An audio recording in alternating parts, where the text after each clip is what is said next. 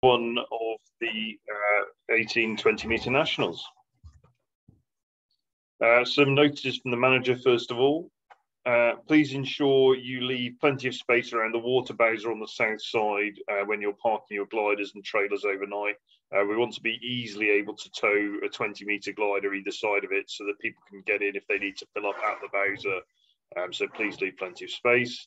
Um, please stick to the 20 mile an hour speed limit around the airfield. Um, I'm sure anyone that's been to Lasham Commons before will be bored of the broken record, but I'll say it again. Uh, catering, I missed this slide off uh, yesterday. Uh, Abby and the team from Flight Deck uh, will be uh, providing meals all week. Hopefully, you've all found them already. Um, they do some outstanding food. Uh, it's going to be open eight till at least eight thirty in the evening each day, and maybe a bit later some days. Um, you can order a packed lunch if you want to in advance, but you can also just get them on the day. They're doing a number of uh, dinner specials, which you can see there. Uh, and obviously it's all pretty tasty. Um, so please, uh, please help Abby and the team out um, recovering from COVID. Uh, they uh, they're keen to keen to help us out and keep the club going. On the social side, Mark Davenport and his band Up to No Good are going to be playing live on Tuesday night. Again, for those that haven't heard them, they're a really really good band. Um, so we're really lucky to have them coming in for the evening. Uh, Mark's a Lasham member, uh, so uh, I'm sure you can get some requests from them. Uh, we're also hoping to run an open mic night one evening during the week. Uh, some points from me. Uh, gridding. hopefully, you've all found the grid. Um, we are gridding the 18 meters three abreast on the runway. Um, so please, when the first glider gets there, please go to the middle of the row on the cone uh, not to one of the edges, uh, and then that will allow a glider to come in either side of you um, and filled up. Hopefully, most of you are pretty familiar with this anyway. Um, the 20 meters a little bit easier, just uh, next to each other on the same row. Um, so please don't start in the middle. Um, when you're uh, going back and forth to the grid, club flying um, will have started, hopefully. Uh, so please just take a bit of care. Don't just cut straight across the grass because um, you may find yourself right in front of an air aerotow about to go off. Um, so just think about it before you drive out and follow the perimeter track round. Uh, pilot information reminder again for those in two seaters to uh, fill out their P2 name each day. Uh, and then the pilot safety committee, a quick reminder um, in case uh, you have need to speak to them today. Okay, on to the weather and Colin. Thanks, Ed. Just uh, get the screen share up and running.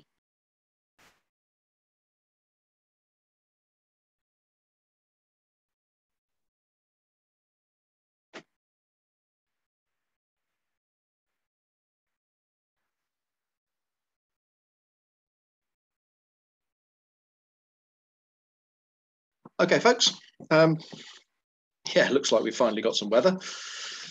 Um, this low pressure system that tracked across us yesterday is slow moving out onto the continent. Um, and we're we're in this gap, and this is something I've seen far too often this year, a gap between weather fronts. Fortunately, this is just a, a weak feature with some rain on it over East Anglia at the moment. And the same with the um, warm front out to the west of us. We're in a light north northwesterly flow across us.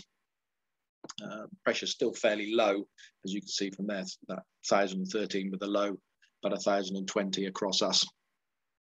Uh, the TAFs, it's worth just looking at these because there's a couple of things that have popped up just on the Farnborough TAF. 296 knots, what we'd expect, like northwesterly to start off with. And I think as the day goes on, that's going to go a little bit more northerly. So by the time you come back, it'll just be light uh, north or north northwesterly um, for landing. But the bit tacked on the end of the TAF here is the Farnborough one. Showers and rain anytime between nine and 1800 hours. And that sort of popped up about an hour ago. And that's certainly true on the Gatwick TAF as well, where they're forecasting potential of showers all day and Heathrow. Anywhere to the west of us and northwest of us, um, don't appear to have showers. So we're in the drier, better air, um, hopefully for most of the day. Upper winds, they're light northwesterly, 10 knots, I think, at flying heights, maybe 12 knots, uh, according to one other forecast. over most of the sort of centre of the country. Bit stronger right out to the west uh, and southwest, um, but nothing's going to give you too much of a problem today. SatPic is showing the weak weather front out to the west of us and our gap that we're sat in. These two bright blobs, you've probably been looking at the weather, are patches of rain. And we've just been watching the cloud over the over East Anglia at the moment, and that is tracking almost directly southerly. Won't affect us, it'll be to the east of us, but it'll sort of wipe out um, most of Cambridgeshire and that area there. So that's a, a no go to start off with. I'll just show you the rainfall radar quickly. And you can see it tracking down over here. Showers just developing on and off in this area east of us. And we'll be keeping an eye on that during the day. Temperature wise, I think we're looking at a very similar temperature to yesterday. 21 degrees if I'm, I'm really optimistic, 22 uh, in this area here to the west of us and to the northwest of us. Um, and dew points, well, they're about 14s, 15s at the moment, maybe stabilize it, you know, when it really gets going at, at about 14. I think if we're lucky, down to 13. So temperature split of about seven, maybe eight at best uh, today, which does mean that it takes a while to really get going, I think, and sort of similar picture with the soundings that um, round here by one o'clock, soundings looking okay. Um, 3,000 foot cloud base, hopefully, three and a half above sea level. Um, but best with those sort of temperatures. And as the afternoon goes on, I think we're going to get less cloud. Uh, the line's opening up a little bit. Uh, and again, about three and a half thousand feet by the looks of it, with the dew points at around about 13. I looked further northwest as well, and that looks like it's going to take a lot longer to get going. The Aston Downs sort of Nympsfield area out, out that way. You know, the soundings doesn't look brilliant for there for, for 12, 1 o'clock, but getting better in the afternoon. Um, that's three, four o'clock. So yeah, three to three and a half thousand foot there by the afternoon. So it may take a while to get going in that direction. Um, West looks best today, but with a, a couple of provisos. Um, and you'll see in a second. Cloud amounts, that's probably an hour's time starting to break up here nicely. Bits of spread out as it showed earlier. There is a an inversion at about 7,000 feet, but that'll slowly disappear. Uh, and as the day goes on, we might round here see spread out to start off with, but thinning out, four to six eighths cumulus. Uh, and then out to the west of us, we're expecting you know, some sea air coming in across the Somerset levels um, here with the northwesterly wind. So um, good to the west, but not too far, I think, today. And then by four or five o'clock in the afternoon, still should be quite nice. I suspect cutoff would be from five o'clock onwards, folks. And we are in sort of late August, so we're coming towards the end of the soaring season. In terms of thermal heights, and SkySight are giving the same sort of numbers really and the same direction. By by 12 o'clock it should should have got to sort of 2000 feet plus. And then by early afternoon 1000 1200 meters so three to three and a half thousand feet. And it stays the same in the, this area here for most of the afternoon. I think nice towards the coast as well. Um, but closing off obviously from the west, and I think dying by five o'clock onwards. So Top Meteo and SkySight don't quite agree on the the distance prediction, but similar sort of areas out to the west um, and slightly to the north. So in in this area here. Okay, Ed, back to you. You might, have to, you might have to uh, start your share again, unfortunately.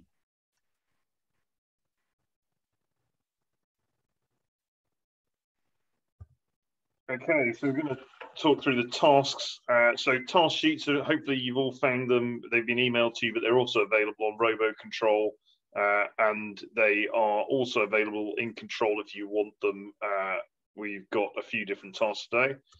So for the 18 meters, uh, we've got an A task of just under 180k, uh, Candover Church, Bullington, Fordingbridge, Longbridge Deverill, uh, Salisbury South, Micheldever, and back to Lasham. Uh, and to give you an idea, this is the uh, task area that all the tasks are going to be flying in. They're all broadly similar, but that's the 18 meter A task.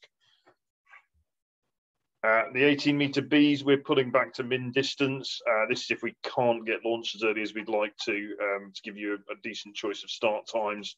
Um, Candover Church, Bullington, Fordingbridge, Fovant, uh, Mottisfont Station, Andover Southeast, and the airfield reference point back to Lasham. Uh, on the 20 meters, uh, somewhere slightly in between, it's kind of just over minimum distance. Uh, different start point at Basingstoke West, but broadly going the same direction. Fordingbridge, Tisbury, Mottisfont Station, Andover, and back to Lasham, um, all of which sort of bring you back in fairly nicely lined up with the main runway. Uh, over to Colin for airspace. Okay, I'll sneak in on the uh, the edge of uh, Ed's camera here now. And um, really, not a lot to say. A one page uh, brief from me. I promised I'd, I'd reduce it from yesterday.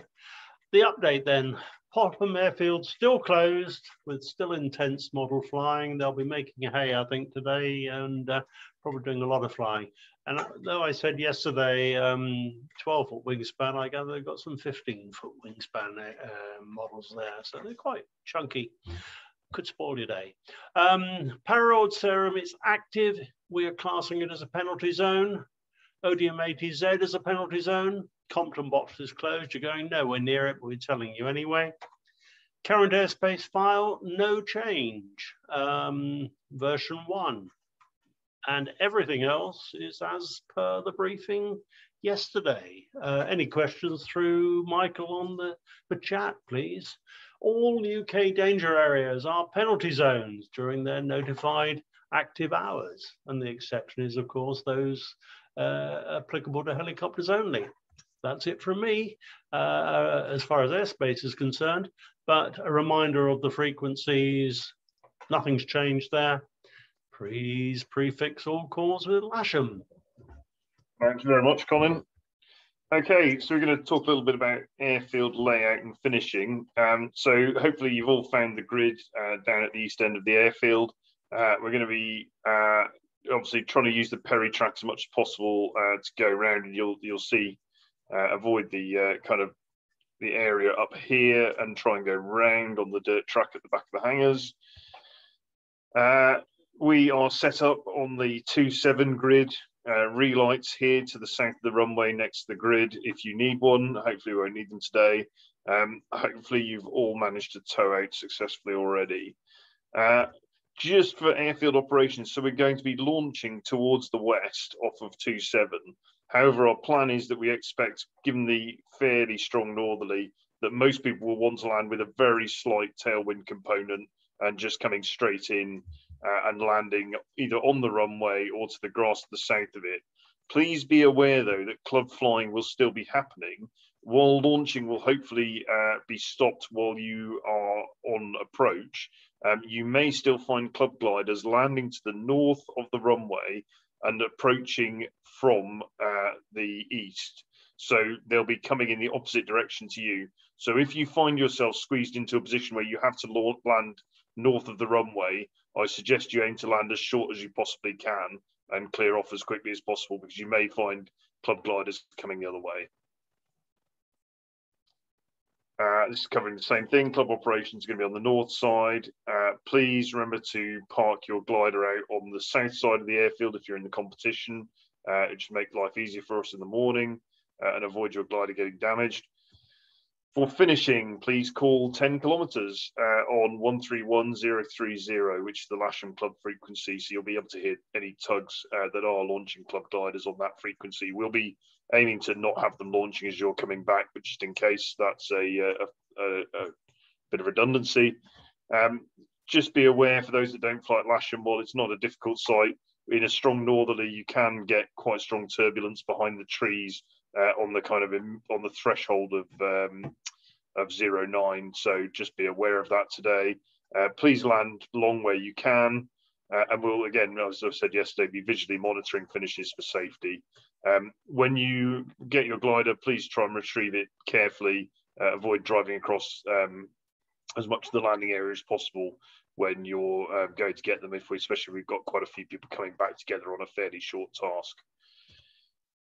Uh, please submit your traces within an hour of landing. Uh, we had a few questions and other points. Uh, so we had a question about uh, the rules around filling water ballast on the grid. Uh, we can't find anything specific in the BGA rules or the local procedures that um, prevent you ballasting on the grid. Uh, I'm not aware of anything like that. Uh, the only rule we're aware of is that you can't dump ballast if we were weighing the gliders. Um, but uh, again, if, if people think we've got that wrong, please let us know where we can find the relevant rules. Um, the other things, just so you're aware, a couple of other competitions going on. Aston Down with the juniors and the regionals, they're going to be tasking to the north of Salisbury Plain danger area, So they're going to be very clear of where you're flying. Shouldn't really be any conflict. Uh, and Dunstable will be tasking towards Oxford. Uh, so again, unlikely to uh, see the Dunstable task group today. Um, I think that is it, unless there are any other questions. Uh, first launch will be not before 11 o'clock. Um, realistically, it's probably more likely to be a little bit later than that, um, but uh, just want to get you out there. Uh, last launch, 1800, uh, and next briefing will be 10 o'clock tomorrow.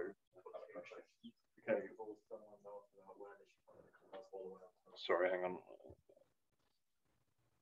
Apologies, just uh, going to get uh, get the chat window up.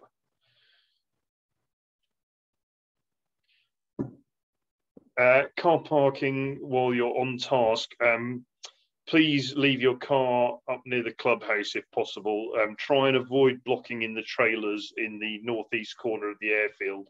Um, it's extremely frustrating for those uh, who need to uh, park there and avoid parking directly uh, on the uh, edge of the grass at the peri track because uh, the club flying will be taking place in a relatively narrow section of grass.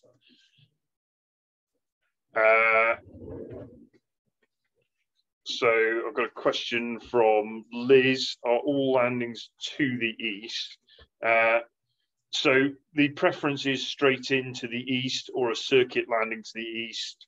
Uh, if you are going to land to the west, if you really are that high energy, my suggestion would be that you uh, consider uh, whether you join the club circuit or not. Obviously, we'd prefer you to land on the south side, but um, it, it, yeah, preference be landing to the east. We've got to let you use your judgment though. Uh, finish ring height, I believe, is on the task sheets at 300 feet, Mike.